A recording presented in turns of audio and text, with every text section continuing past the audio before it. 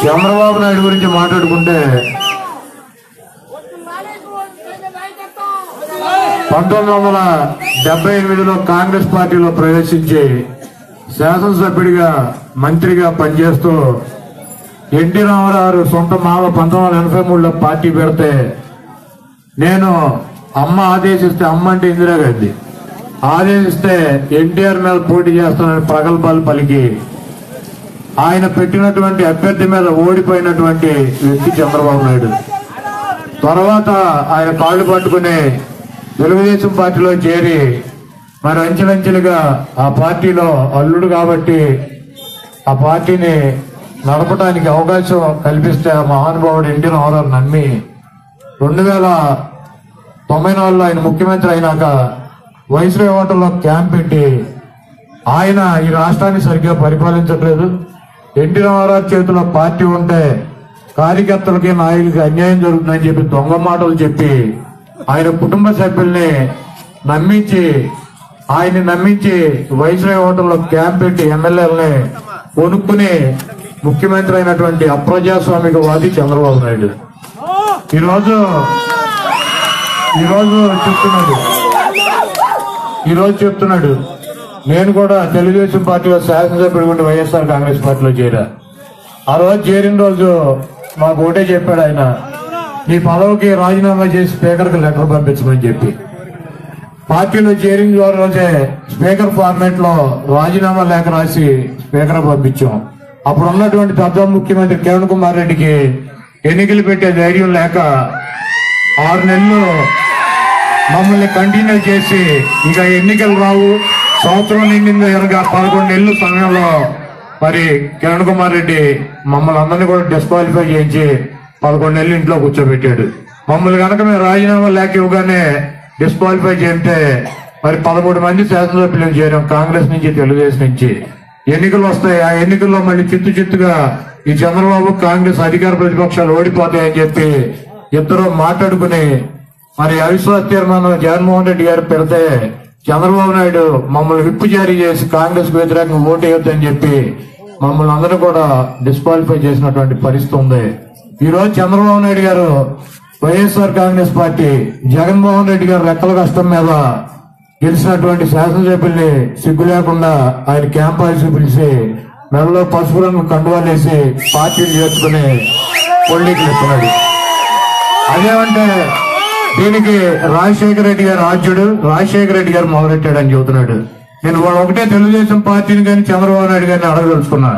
రాజశేఖర రెడ్డి గారు ముఖ్యమంత్రి అయినమ్మటే దానం నాగేంద్ర హైదరాబాద్లో తెలుగుదేశం పార్టీ శాసనసభ్యుడిగా గెలిచి చేరితే అతన్ని రిజైన్ చేయించి ఎన్నికలకు వెళ్ళినటువంటి మహానుభావుడు రాజశేఖర రెడ్డి గారు.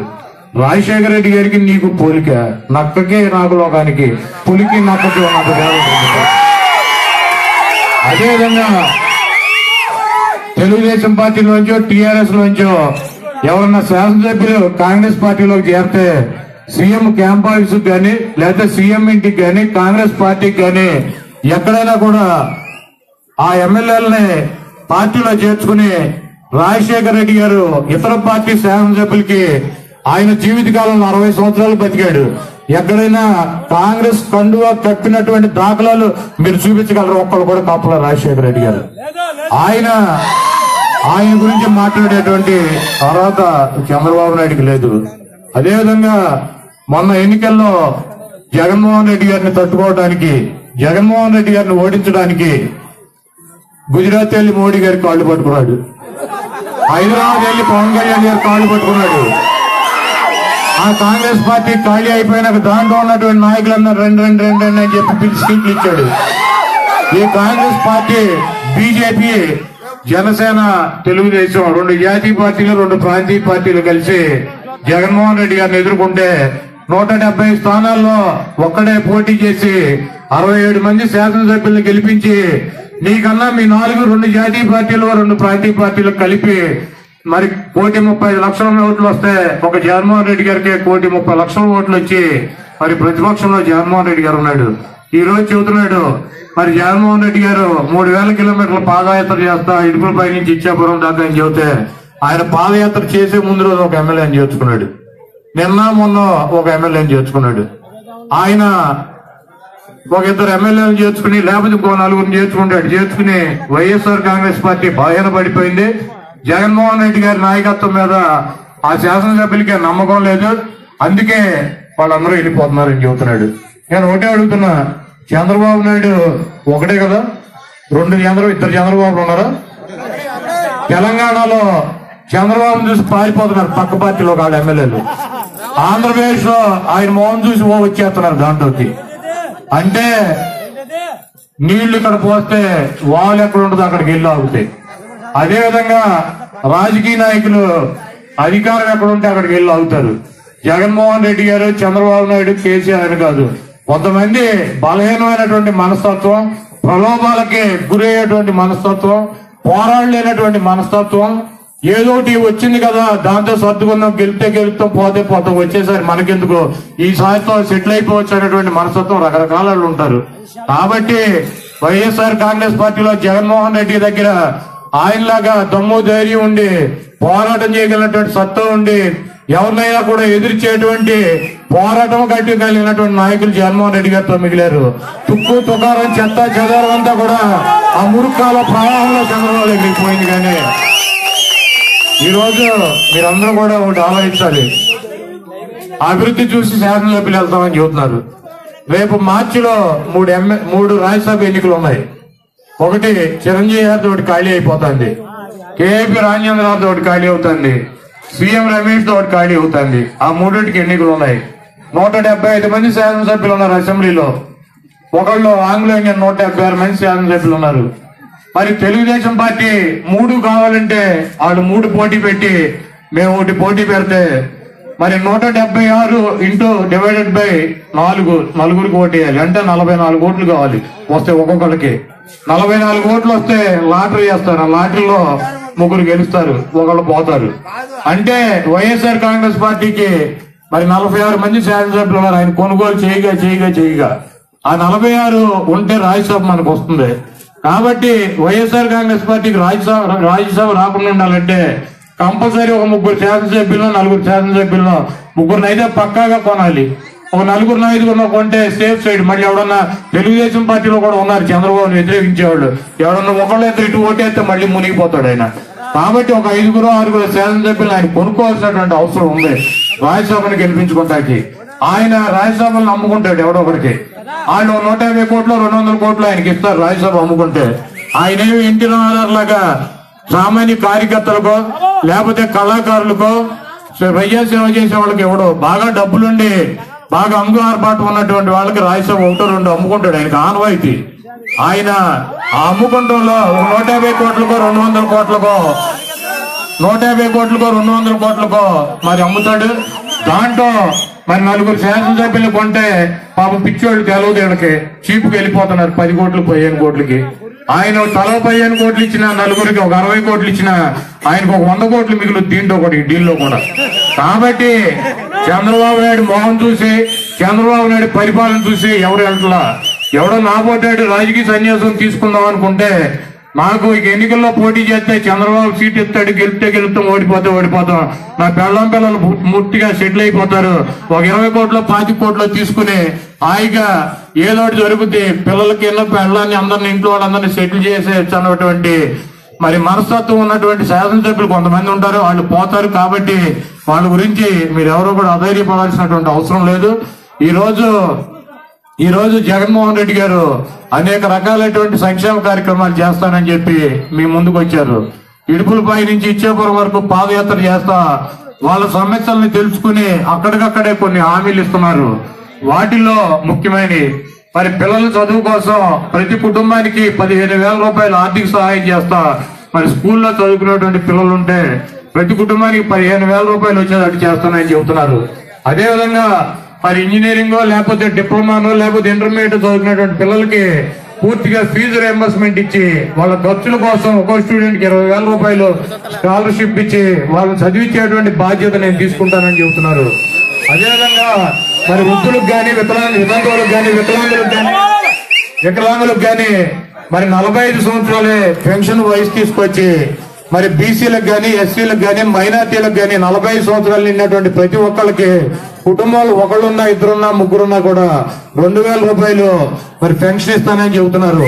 అదేవిధంగా ఇల్లు లేనటువంటి నిరుపేదలందరికి కూడా మరి ఈ స్థలాన్ని ఆ పేదల పేరు రిజిస్ట్రేషన్ చేసి ఇల్లు మీది రూపాయి కూడా లేకుండా నిర్మాణం చేసి ఇస్తాను మీకు కావాలంటే ఒక లక్ష లక్షన్నర మీరు అప్పుకు వెళ్తే పాల వడ్డీకి మీకు అప్పు కూడా ఇప్పించేటువంటి బాధ్యత ప్రభుత్వం తీసుకుందని చెబుతున్నారు. అదేవిధంగా ఈ రోజు రాజశేఖర రెడ్డి గారు మరి అనేక రకాలైనటువంటి ప్రాజెక్టులను మొదలెట్టారు.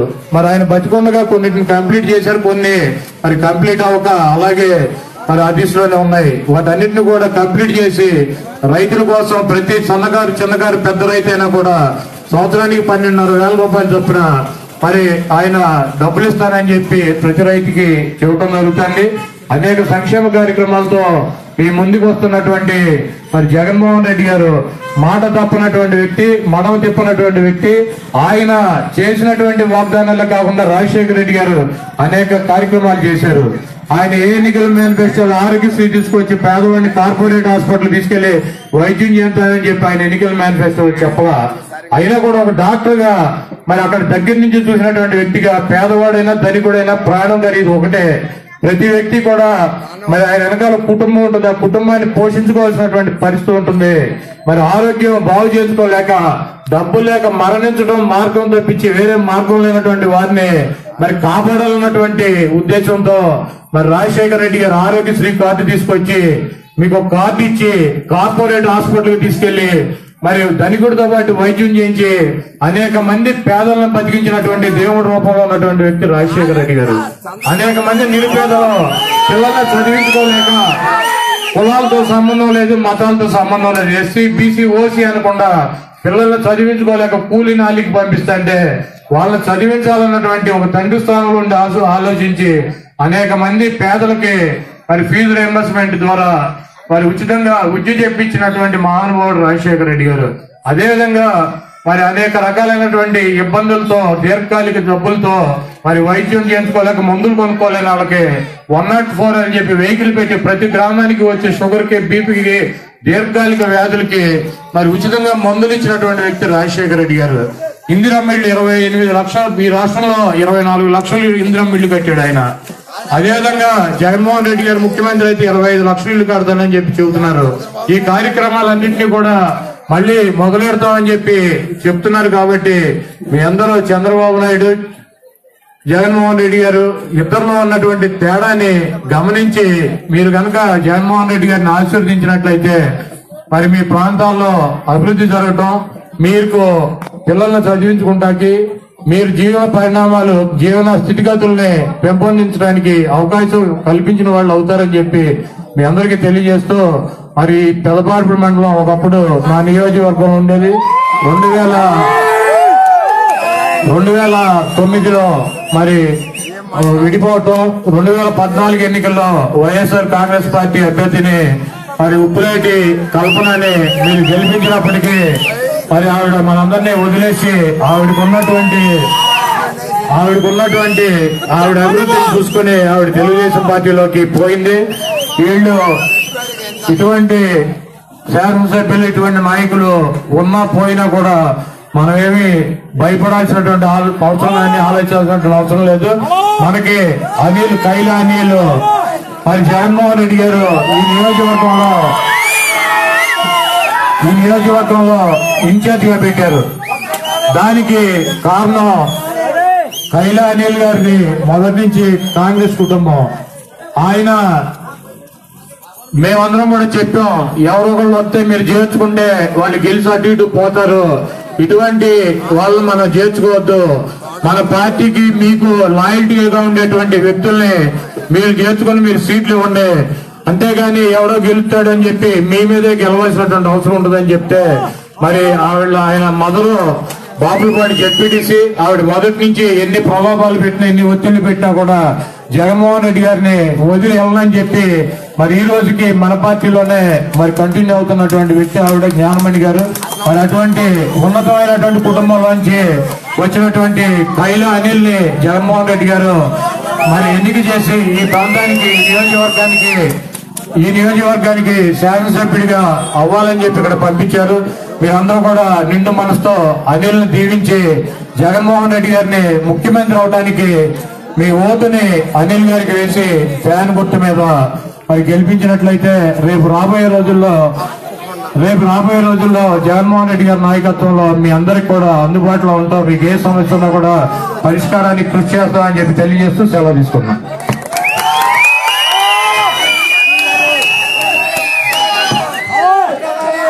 వీడియో నచ్చితే ఓ లైక్ కొట్టండి. లేకపోతే కామెంట్ చేయండి.